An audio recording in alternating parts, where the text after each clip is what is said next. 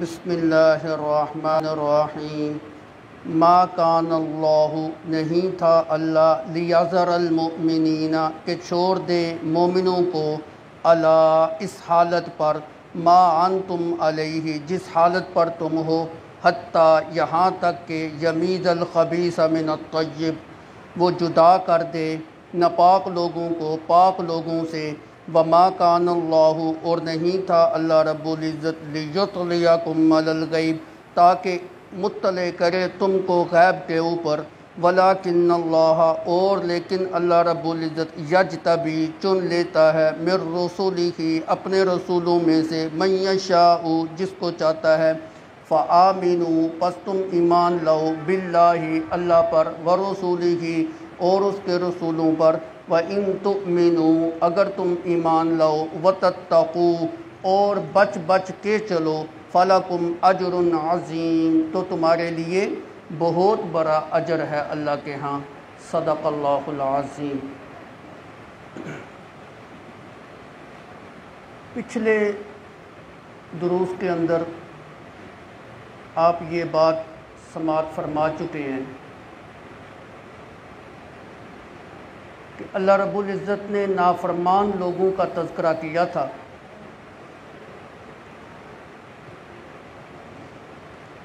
کہ یہ نافرمان لوگ جن کو اللہ رب العزت نے دنیا کی دولتوں سے نوازا ہوا ہے، دنیا کی ہر طرح کی آسائش اور نعمتیں ان کو دی گئی ہیں۔ حتیٰ کہ لمبی زندگی بھی اللہ رب العزت نے ان کو دی۔ ایک طویل عرصہ دنیا کے اندر رہنے کے باوجود پھر بھی وہ اپنے رب کے نافرمان ہی رہے۔ ہمیں یہ بتلایا گیا کہ اللہ رب العزت نے جو ان کو نعمتیں دی ہیں، دولتیں دی ہیں، اچھے مکان دیے ہیں، درم دینار دیے ہیں، سونے چاندی کی کثرت دی ہے، اس سے تمہیں یہ وہم نہیں ہونا چاہیے کہ یہ اللہ کے محبوب بندے ہیں۔ دولت کی وجہ سے کوئی اللہ کا محبوب نہیں بنتا۔ آپ دیکھیں کافر لوگوں کے پاس کتنی دولت ہے۔ تو اس کا مطلب یہ نہیں ہے کہ وہ اللہ کے محبوب ہے دنیا کی کتنی نعمتیں جو ہے نا اللہ رب العزت نے کافروں کو دی ہوئی ہیں، اس کا مطلب یہ نہیں ہے کہ وہ اللہ کے پیارے ہیں، اللہ ان سے خوش ہے، اللہ ان سے راضی ہے۔ اس وجہ سے ان کو اتنی دولت جو ہے نا وہ دی ہوئی ہے۔ بلکہ اللہ رب العزت نے فرمایا، میں ان کو لمبی عمر دے کر اور گناہوں کے اندر مبتلا کر کے ان کو مولت دے رہا ہوں اور ڈیل دے رہا ہوں، یہ لمبی عمر کا ملنا، دولتوں کا ملنا، اچھے مکان کا ملنا، دنیا کی آسائش کا ملنا، یہی چیز ان کے لیے فتنے کا باعث جو ہے نا وہ بن جائے گی اور یہی چیز ان کو عذاب کے اندر جو ہے نا مبتلا کر۔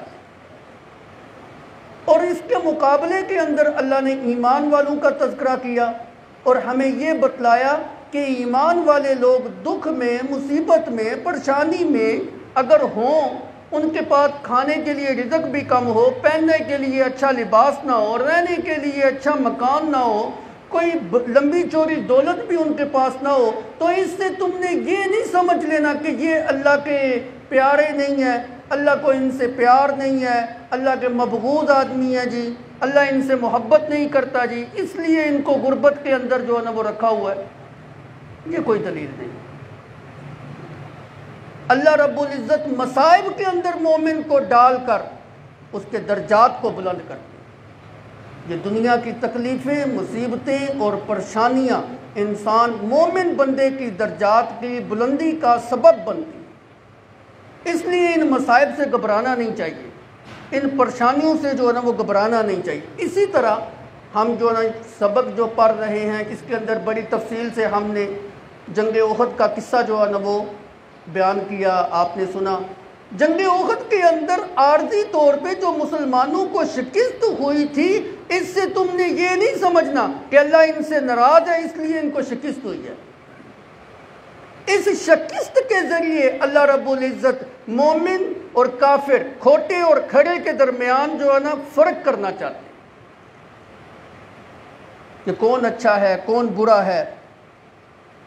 اللہ جو ہے نا تمہارے دلوں کے اندر جو وسوسے آ رہے ہیں، اس کو صاف کرنا چاہتا ہے پیچھے آپ نے پڑھ چکے ولی یب تلی اللہ من المؤمنین ولی مخصا معافی قلوبکم اللہ تمہارے دلوں کو ان وسوسوں سے صاف جو ہے نا وہ کرنا چاہتا ہے۔ آج کے درس کے اندر بھی شکست کی، مومنوں کی جو عارضی طور پہ جنگ احد میں شکست تھی، اس کی ایک تکوینی حکمت جو ہے نا، وہ بیان کی جا رہی ہے کہ اللہ رب العزت نے یہ جو شکست ایمان والوں کو دی ہے، یہ جو عارضی طور پہ ان کو نقصان سے دو چار جو ہے نا، وہ ہونا پڑا ہے، اس کے ذریعے مخلص مومنوں اور منافقین کے درمیان جو ہے نا، اللہ تمیز کرنا چاہتے ہیں۔ ان کو جدا جدا جو ہے نا وہ کرنا چاہتے ہیں، ان کو الگ الگ جو ہے نا وہ کرنا چاہتے ہیں۔ فائدہ اس کا کیا ہوگا؟ فائدہ یہ ہوگا کہ جس وقت ایمان والوں کو یہ پتہ چل جائے گا کہ یہ لوگ منافق ہیں، اسلام کے ساتھ جو ہے نا وہ مخلص نہیں ہے تو وہ اپنا دفاع اور اپنا بچاؤ ان سے کر لیں گے۔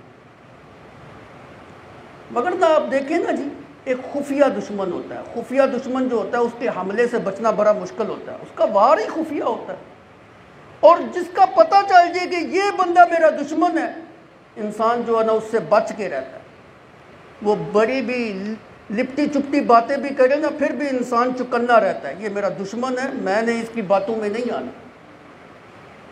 اس لیے اللہ رب العزت نے منافقین کو واضح کیا تاکہ ایمان والے لوگ سمجھ جائیں کہ یہ لوگ تمہارے دشمن ہیں، تم نے ان سے بچ کے رہنا ہے اور اپنا دفاع جو ہے نا ان سے کرنا ہے۔ تو آج کے سبق کے اندر جو ہے نا اسی کا تذکرہ ہے۔ جی ما کان اللہ لیذر المؤمنین علی ما انتم۔ اللہ کی غیرت گوارا نہیں کرتی کہ مومن اور منافق اکٹھا چلے، مل جل کے رہے اللہ نہیں چاہتے۔ اللہ دونوں کو جدا جدا کرنا چاہتے۔ ہیں بتلانا چاہتے ہیں۔ یہ لوگ اسلام کے ساتھ مخلص نہیں ہیں، لہذا ان کا مسلمانوں کے گروہ کے ساتھ کوئی تعلق نہیں، ان کو جدا ہونا چاہیے۔ اور آپ دیکھیں نا، جنگ وقت کے اندر کچھ لوگ تو عبداللہ ابن عبی جو نا تین سو کا گروہ پہلے ہی جو نا وہ لے کے نکل گیا تھا۔ اور جو بچے کچھ منافق میدان جنگ کے اندر آ بھی گئے تھے، وہ اس شکست کی وجہ سے وہ بھی جو ہے نا وہ بھاگ گئے تھے۔ ان کے عمل سے یہ بات جو ہے نا وہ ثابت ہو گئی کہ یہ لوگ اسلام کے ساتھ جو ہے نا وہ مخلص نہیں ہیں۔ تو اللہ رب العزت نے فرمایا، ما کان اللہ لیذر المؤمنین علی ما انتم علی اللہ جو ہے نا اس ایسا نہیں چاہتا کہ تم جو ہے نا مل جل کے رہے، تم جو ہے نا اکٹھے رہو۔ منافق بھی رہیں اور مومن بھی جو ہے نا وہ رہیں۔ یاد رکھیے، دنیا کے اندر بھی اللہ مومن اور منافق کو الگ کریں گے اور کل قیامت کے دن بھی اللہ رب العزت سچے مومنوں کو اور کافروں کو جدا جدا کریں گے۔ آپ نے سورہ یاسین کے اندر ایک آیت پڑھی ہوگی وَمْتَادُ الْيَوْمَ أَيُّحَ الْمُجْرِمُونَ اعلان کیا جائے گا، آج کے دن مجرم لوگ نیک لوگوں سے جدا ہو جائے اللہ ان کو جدا کر دے گا۔ بےآنی کی اسی طرح دنیا کے اندر بھی اللہ تعالیٰ مومنوں سے منافقوں کو جدا کرتے ہیں، الگ کرتے ہیں۔ اسی کا تذکرہ جو ہے نا اس آیت مبارکہ کے اندر ہے۔ حتیٰ یمیز الخبیث من الطیب، یہاں تک کہ اللہ رب العزت خبیث کو طیب سے الگ کرے۔ اور خبیث سے مراد یہاں منافق ہے۔ اور طیب سے مراد یہاں پہ مومن ہے۔ اور دیکھیں نا آپ نے اللہ رب العزت نے الفاظ کیسے استعمال کیے۔ خبیص پلیت ناپاک۔ خبیص کا معنی، اردو ترجمہ کر رہا ہوں۔ خبیص کا معنی پلیت ناپاک اور طیب پاک۔ اللہ نے ایمان والے لوگوں کو پاک کہا اور منافقین کو اللہ رب العزت نے پلیت کہا، نجس کہا۔ ایک پلیت چیز، پاک چیز کے ساتھ اکٹھی نہیں رہ سکتی۔ ناپاک عقیدہ، پاک عقیدے کے ساتھ اکٹھا نہیں رہ سکتا۔ کفر ناپاک ہے اور اسلام ایک پاکیزہ چیز ہے، یہ دونوں اکٹھی نہیں چل سکتی۔ اسی طرح مومن کے دل کے اندر شرک بھی ہو اور اللہ کی توحید بھی ہو، یہ دو چیزیں اکٹھی نہیں ہو سکتی۔ جیسے سورہ احزاب کے شروع میں اللہ رب العزت نے فرمایا، ما جعل اللہ لرجل من قلبین فی جوفی اللہ نے ایمان والے بندے کے، اللہ نے کسی بھی انسان کے دل کے اندر دو دل نہیں رکھے۔ کہ ایک دل کے اندر توحید ہو اور ایک دل کے اندر شرک ہو۔ ایک دل کے اندر میرے نبی کی سنت ہو اور ایک دل کے اندر بدعات اور رسومات اور رواجات ہوں۔ ہر انسان کے سینے کے اندر ایک دل ہے اور ایک دل کے اندر ایک ہی جو ہے نا ہستی بس سکتی ہے، یہ نہیں ہو سکتا۔ اللہ کی بھی محبت ہو اور بتوں کی بھی محبت ہو، اللہ کی بھی محبت ہو اور اولیاء، اللہ اور انبیاء کی بھی جو ہے نا محبت ہو، اللہ بھی جو ہے نا وہ معبود ہو اور کوئی اور ہستی بھی جو ہے نا معبود بن کے بیٹھا ہو۔ ایک دل ہے، ایک دل کے اندر ایک ہی ہستی کی محبت ہو سکتی ہے۔ ایک دل ہے، ایک دل کے اندر ایک ہی معبود جو ہے نا وہ ہو سکتا ہے۔ دو معبود نہیں ہو سکتے۔ ایک دل ہے، ایک دل کے اندر ایک ہی جو ہے نا وہ دین اور اسلام ہو سکتا ہے، کوئی اور چیز نہیں ہو سکتی۔ اب جس کے دل کے اندر اسلام کے علاوہ کسی اور چیز کی محبت ہوگی، اللہ کی توحید کے علاوہ کسی اور ہستی کی محبت جو نہ ہوگی، کسی اور کو جو نہ معبود بنا کے اس نے دل کے اندر جو نہ وہ بٹھایا ہوا ہے، یہ پلیت ہے، یہ نجس ہے، یہ خبیص ہے، یہ ناپاک ہے۔ یہ دونوں اکٹھے نہیں ہو سکتے۔ لیمید اللہ الخبیث حتی یمید الخبیث من الطیب اللہ جو نا خبیث کو طیب سے جو نا وہ جدا جو کرنا چاہتے ہیں۔ اور یہ جو کافر کو یا منافق کو خبیث کہا گیا ہے نا، کیوں کہا گیا؟ یہ مطلب نہیں ہے کہ اس کا جسم جو ہے نا ظاہری طور پہ نپاک ہے۔ یہ حکمن نپاک کہا گیا۔ اس کی روح پلیت ہے۔ جس روح کے اندر اللہ کی توحید نہیں جس دل کے اندر اللہ کی محبت نہیں، جس دل کے اندر اللہ کی وحدانیت نہیں، اللہ کی ربوبیت نہیں، وہ روح نپاک روح ہے۔ وہ پلیت روح ہے، پلیت ہے، پلیت۔ میں نہیں کہہ رہا، اللہ کا قرآن کہہ رہا ہے۔ یا ایوہ الذین آمنوا انما المشرکون نجس۔ اے ایمان والو مشرک جو ہے نا، وہ پلیت ہے۔ کیوں ان کو پلیت کہا گیا؟ شرک کی وجہ سے۔ پیچھے والا لفظ بتلا رہا ہے۔ انما المشرکون۔ ان کے شرک کرنے کی وجہ سے ان کا دل جو ہے نا وہ ناپاک ہے اور پلیت اور دوسری جگہ پہ فرمایا فَجْتَنِبُ الرِّجْسَ مِنَ الْأَوْسَانِ بتوں کی نجاست سے اپنے آپ کو بچاؤ۔ یہ بت پرستی کی جو نجاست ہوتی ہے، یا قبر پرستی کی جو نجاست ہوتی ہے، یا اللہ کو چھوڑ کر جن جن ہستیوں کو، تاحود کو جو ہے نا وہ پکارا جاتا ہے، یہ ساری چیزیں نجس ہیں۔ اس نجاست سے، شرک والی نجاست سے اپنے آپ کو بچانا چاہیے۔ اس کا مطلب یہ ہوا کہ جو بندہ مشرق ہوتا ہے، وہ پاک نہیں ہوتا، وہ نجس ہوتا ہے، وہ پلیت ہوتا ہے۔ اسی پلیتی سے تو اپنے آپ کو بچانا ہے جی۔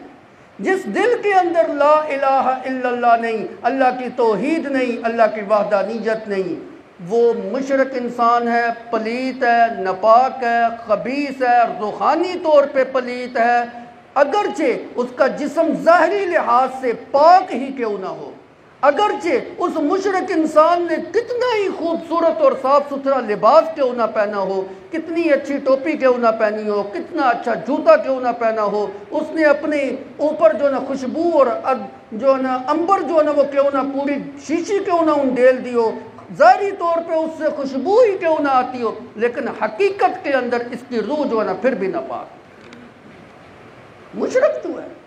شرک کی نجاست جو ہے ہی سراسر پلی۔ اس کے مقابلے میں مومن جو ہوتا ہے نا بندہ، وہ کبھی بھی نپاک نہیں ہوتا۔ مومن کبھی بھی نپاک نہیں ہوتا۔ اور مزے کی بات آپ کو بتاؤں، مومن جو بندہ ہوتا ہے نا، یہ جنبی بھی ہو جائے نا، پھر بھی حقیقت سے حقیقت حقیقی لحاظ سے نپاک نہیں ہوتا۔ اگر جنبی بھی ہو جائے، اگر جنابت بھی اس کے اندر تاری ہو جائے ظاہری طور پہ جسم نپاک بھی ہو جائے، پھر بھی جو نا، مومن بندے کی روح بھی پاک ہوتی ہے، مومن بندے کی زبان بھی پاک ہوتی ہے، مومن بندے کا باطن جو ہے نا، پھر بھی پاک رہتا ہے۔ بھائی، اللہ کے نبی کا فرمان ہے۔ قول النبی صلی اللہ علیہ وسلم، المؤمن لا ینجس۔ مومن نجس ہوتا ہی نہیں۔ مومن نجس نہیں ہوتا، بے شک وہ جنبی کیوں نہ ہو۔ تے اے مطلب اے بھی نہیں۔ تسی متے میری گل تو اے اخذ کرن لاپو کہ جنبی اج غسل کرنے کی ضرورت ہی نہیں۔ نہ۔ ظاہری طور پہ جسم نپاک ہو جاتا ہے۔ بعض اوقات ظاہری طور پہ بچری تقاضے کے تحت مومن بندے کا انسان کا جسم نپاک ہو جاتا ہے، جنابت جو ہے نا وہ تاری ہو جاتی ہے۔ جس وقت جنابت تاری ہو، غسل کرنا، اچھی طریقے سے پاکی حاصل کرنا، یہ تو اللہ کا حکم ہے۔ ان کن تم جنوبن فتخرو اگر تمہیں جنابت لائق ہو جاؤ، جنبی بن جاؤ، تو اچھے طریقے سے خوب پاکی حاصل کرو۔ خوب پاکی حاصل کرو۔ اس کا مطلب یہ ہے کہ ظاہری طور پہ جسم ناپاک جو ہے نا وہ ہو جاتا ہے۔ اور یاد رکھیں یہ مسئلہ بھی اگر جنابت تاری ہو جائے نا، تو کوشش کیا کریں کہ جلد از جلد غسل کر دیا کریں۔ یہ زیادہ دیر جنابت کی حالت میرا نہیں، یہ کوئی اچھی بات نہیں ہے۔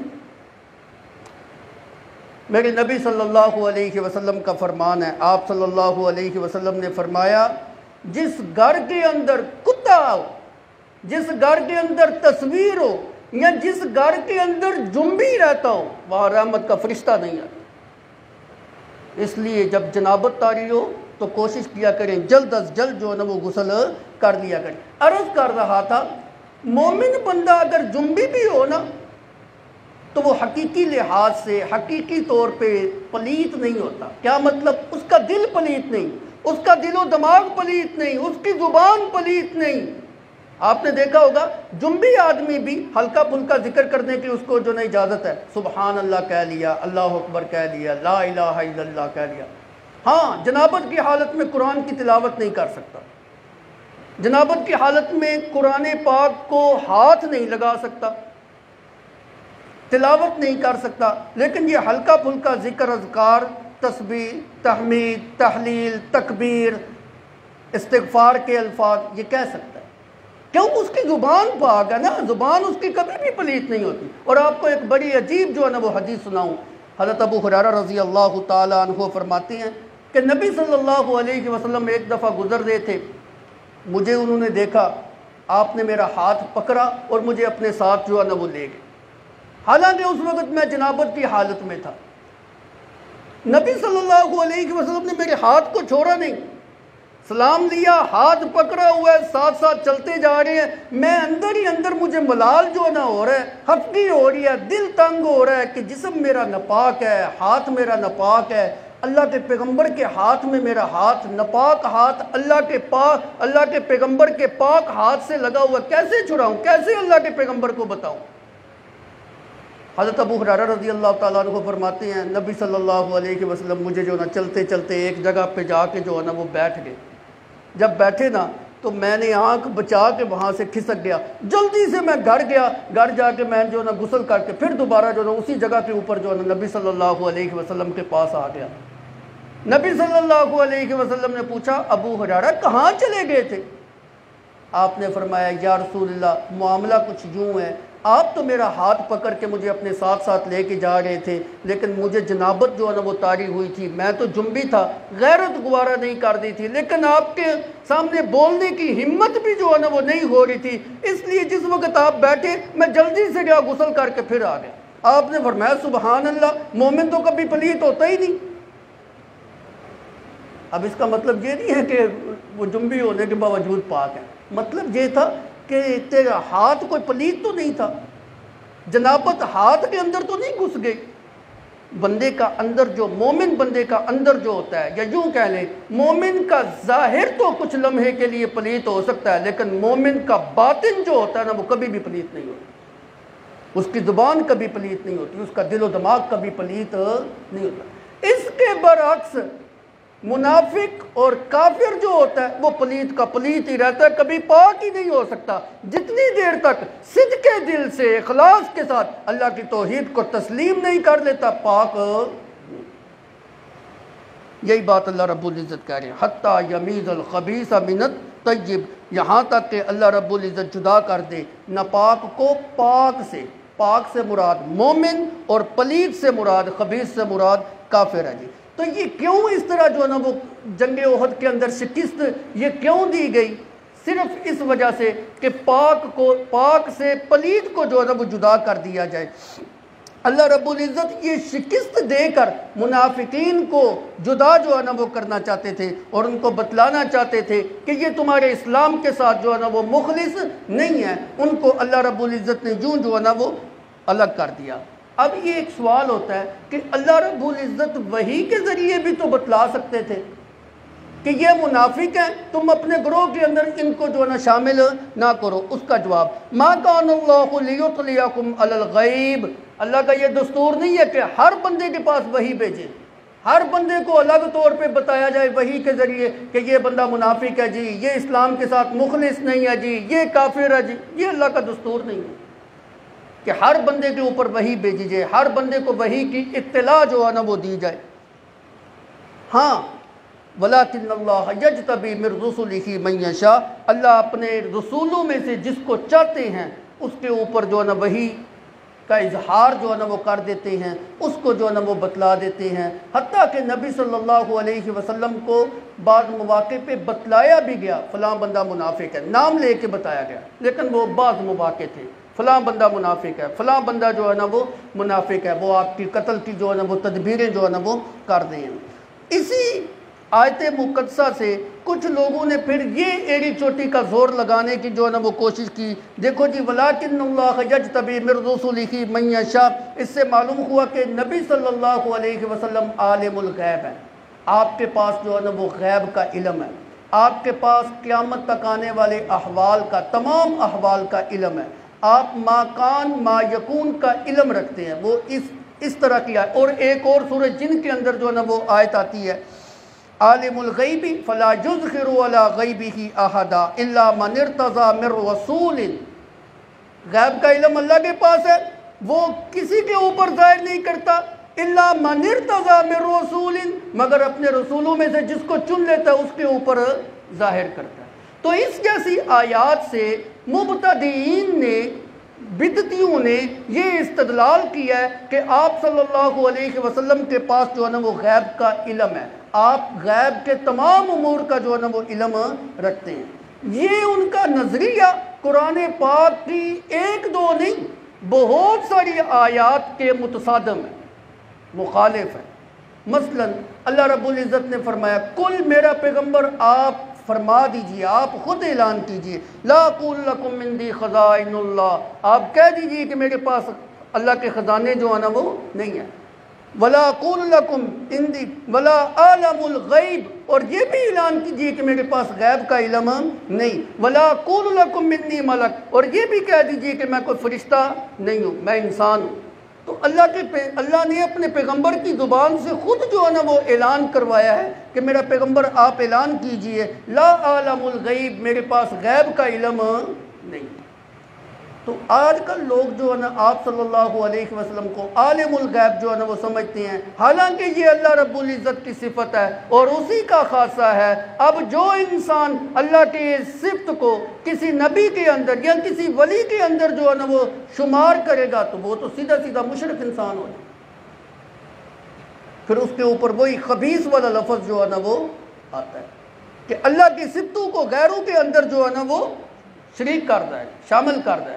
اور دیکھیں نا، قرآن پاک کے دوسرے مقام پہ اللہ رب العزت نے فرمایا، ممن قولکم من الاراب منافقون، ومن اہل المدینة مردوا النفاق، لا تعلموهم نحن نعلموهم میرا پیغمبر جی مدینہ کے ارد گرد کی بستیوں کے اندر بہت سارے منافق رہتے ہیں۔ مدینہ کے اندر بہت سارے منافق رہتے ہیں۔ لا تعلموهم آپ ان کو نہیں جانتے۔ نحن نعلمہم ہم ان کو جانتے ہیں۔ کتنے سراحت الفاظ ہیں۔ جو لوگ کہتے ہیں کہ آپ عالم الغیب ہیں، اللہ کہتے ہیں لا تعلمہم ان منافقین کے گروہ کو آپ نہیں جانتے۔ نحن نعلمہم ہم ان کو جانتے علم غیب کی تو نفی ہو۔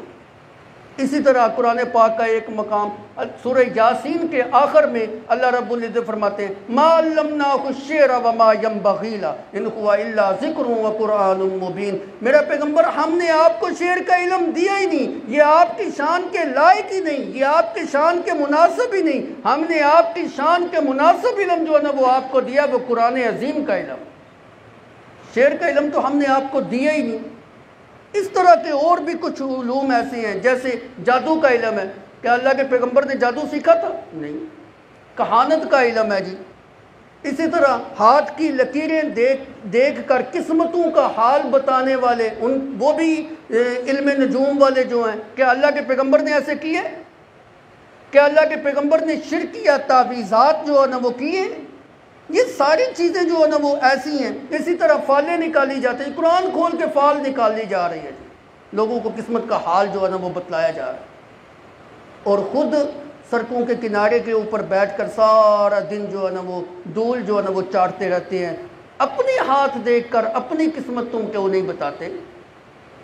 میرے نبی صلی اللہ علیہ وسلم کا فرمان ہے۔ آپ نے فرمایا، اللہم انی اعوذ بک من علم لا ينفع اے اللہ، میں اس علم سے تیری پناہ چاہتا ہوں جو نفع والا نہیں۔ ہے تو بہت ساری ایسی چیزیں ہیں، بہت سارے ایسے علوم ہیں جن کا علم جو ہے نا نبی صلی اللہ علیہ وسلم کو نہیں ہے جی۔ خود اللہ کے پیغمبر پناہ مانگ رہے ہیں ایسے علوم سے جو شرک کے اوپر مبنی ہیں۔ تو اس کا مطلب یہ ہوا کہ آپ کے پاس جو ہے نا غیب کا علم نہیں ہے، کئی چیزیں ایسی ہیں شعر و شاعری کا علم نہیں ہے، کہانت کا علم نہیں ہے، علم نجوب کا نہیں ہے، جادو ٹونے کا علم جو ہے نا آپ کے پاس نہیں ہے۔ اللہ نے آپ کو یہ علوم دیے ہی نہیں آپ کی شان کے مناسب ہی نہیں ہے۔ قیامت کا علم آپ کے پاس نہیں ہے۔ وہ جبرائیل امین جب آئے، انہوں نے نبی صلی اللہ علیہ وسلم سے سوال کیے، یا رسول اللہ ہمیں یہ بتائی، دین کیا ہے؟ یا رسول اللہ اسلام کیا ہے؟ یا رسول اللہ قیامت کب آئے گی؟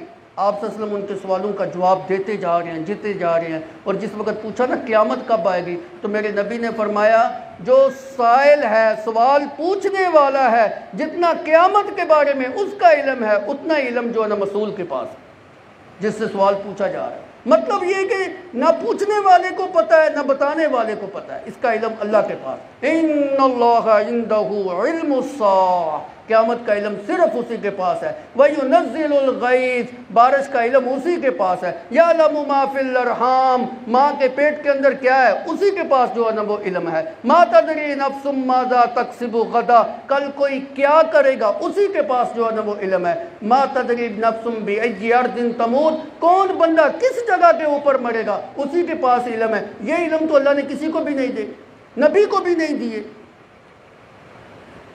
وَلِلَّهِ غَيْبُ السَّبَابَاتِ وَالْلَرْ اللہ ہی کے لیے ہے غیب کا علم۔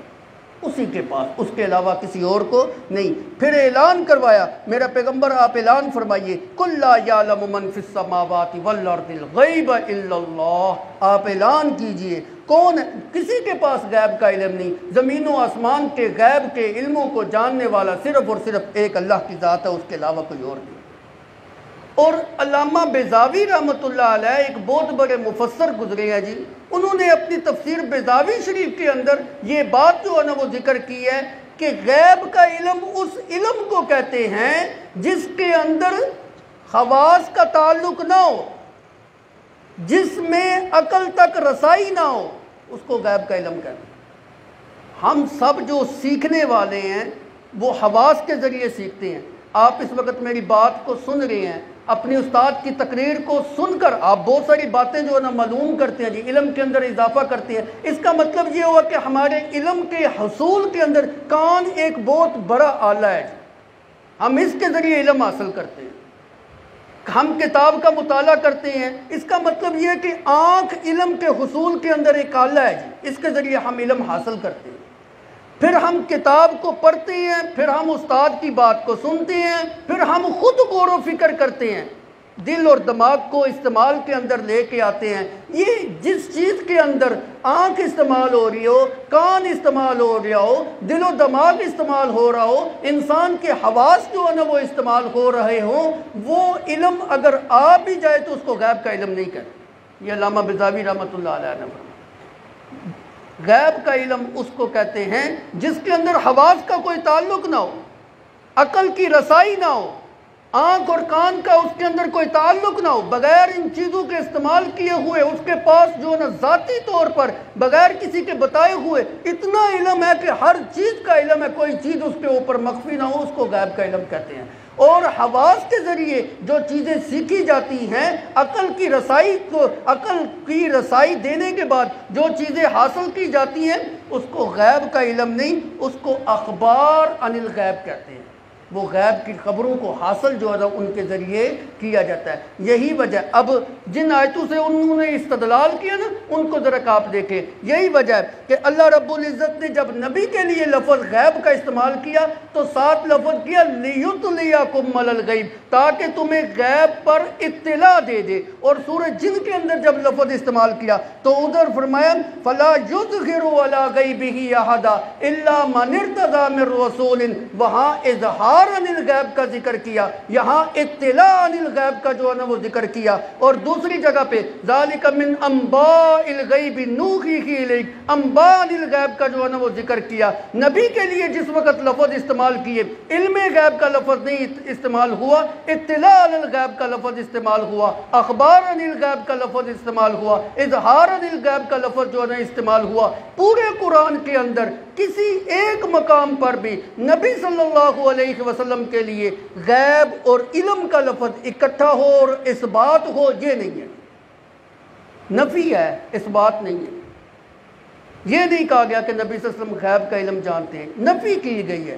ابھی میں نے آیت پڑھی، لا عالم الغیب۔ میرے پاس غیب کا علم نہیں، یہاں علم کا لفظ بھی ہے، غیب کا لفظ بھی ہے اور ساتھ لا نفی کا ہے۔ کہ میرے پاس غیب کا علم نہیں۔ اور جس جگہ پہ اس بات ہے، وہاں لیتلیکم، اطلاع کا لفظ ہے کہ غیب کی خبر پہ ان کو مطلع کر دیا گیا۔ غیب کی خبر اللہ نے ان کے اوپر ظاہر کر دی۔ وہ تو پھر غیب کی نہ رہی۔ علم غیب تو اس کو کہتے ہیں جس کے اندر جو نا اظہار نہ ہو، کوئی بتائے نا اس کی صفت ہو۔ تو عرض کرنے کا مقصد یہ ہے کہ یہ اللہ رب العزت کا خاصہ ہے، اللہ کے سوا کسی اور کے اندر یہ صفت جو ہے نا وہ نہیں ہے۔ اسی لیے اللہ رب العزت نے فرمایا، فَآمِنُوا بِاللَّهِ وَرَسُولِ اللہ اور اس کے رسول کے اوپر ایمان لے کے آؤ۔ اللہ کی ذات کے اوپر بھی ایمان لے کے آؤ، اور اس کی صفتوں کے اوپر بھی جو نا ایمان لے کے آنا ہے۔ جس طرح وہ اپنی ذات میں وحدہ لا شریک ہے، اسی طرح وہ اپنی صفتوں کے اندر بھی وحدہ لا شریک ہے۔ اور بالخصوص یہاں پہ علم غیب کی بات ہو رہی ہے، تو علم غیب والی صفت کے اندر بھی نہ کوئی نبی اس کا شریک شریک ہے نہ کوئی ولی اس کا جو ہے نا وہ شریک ہے۔ فامنو باللہ اللہ کی توحید کے اوپر ایمان لے کے آؤ، اس کو اپنی توحید میں، وحدانیت میں، ربوبیت میں، خالقیت میں، تمام صفات کے اندر، وحدہ لا شریک جو ہے نا وہ سمجھو برسولی ہی اور اس کے رسولوں کے اوپر بھی جو ہے نا ایمان لے کے آؤ۔ اور نبی صلی اللہ علیہ وسلم کے اوپر جو ہے نا ایمان لانا ہے، ان کی نبوت کے اوپر ایمان لانا ہے، ان کی ختم نبوت کے اوپر ایمان لانا ہے۔ انسان کے دل کے اندر اللہ کی توحید بھی ہو، نبی کی رسالت بھی ہو، نبی کی محبت بھی ہو تو پھر انسان کامیاب ہوتا ہے وگرنہ کامیاب نہیں ہو اسی لیے فرمایا، ان تو منو اگر تم اللہ کے اوپر ایمان لے کے آئے ہو وتتقو تو پھر بچ بچ کے چلو۔ اللہ کی توحید کے اوپر ایمان لے کے آئے ہو، تو اب شرک سے بچو۔ یہ شرک ہے کہ نبی کو عالم الغیب سمجھنا۔ یہ شرک ہے کہ نبی کو مختار کل سمجھا جائے۔ یہ شرک ہے کہ نبی کو ہر جگہ پہ حاضر ناظر جو ہے نا وہ سمجھا جائے۔ یہ اللہ کی صفتی اللہ کے ساتھ ہی خاص ہے یہ اللہ کا خاصہ ہے مخلوق کا کوئی فرد ایسا نہیں جس کے اندر اللہ کی صفت جو ہے نا وہ آئے۔ ان تو مینو بتکتا کو اللہ کے اوپر ایمان لو اور بچ بچ کے چلو۔ کس سے؟ شرک سے۔ اور پیچھے کا برسول کی رسول کے اوپر ایمان لو وتکتا کو بچو۔ کس چیز سے؟ خرافات سے، رسوبات سے، بدعات سے۔ اور نبی کے اوپر ایمان لانے کا مطلب ایک یہ بھی ہے کہ اپنی زندگی نبی کی سنت کے مطابق گزار ان تو منو وتتقو، اگر تم ایمان لاؤ، وتتقو، اور اپنی زندگی کفر اور شرک سے، اور خرافات سے، اور بدعات سے، اور رسومات سے بچ بچ کے گزارو گے۔ اللہ اور اس کے رسول کے حکموں کے مطابق گزارو گے۔ فَلَكُمْ مَجْرٌ عظیم، کامیابی تمہارا مقدر ہوگا۔ اللہ کے ہاں تمہیں بہت بڑا اجر جو ہے نا وہ دیا جائے گا۔ اللہ عمل کی توفیق عطا فرمائے۔ باقی باتیں آئندہ درس کے اندر